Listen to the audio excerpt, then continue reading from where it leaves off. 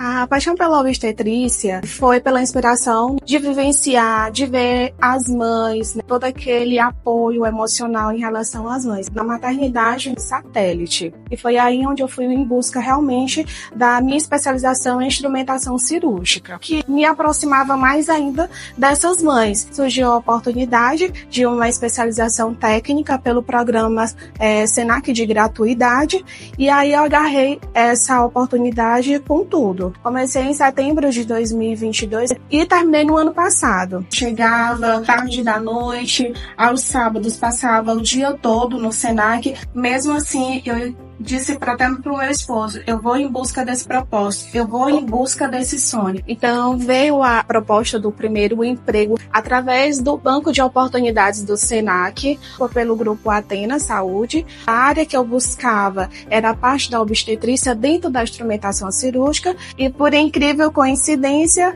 eu adentrei no hospital materno infantil na área da obstetrícia, instrumentando, fazia vários procedimentos como cesáreas, mas também com outros tipos de cirurgias, como laparotomia RN, amil, curetagem, parto normal. E hoje me encontro como funcionária do São Marcos. Eu atuo como técnica em enfermagem no centro cirúrgico.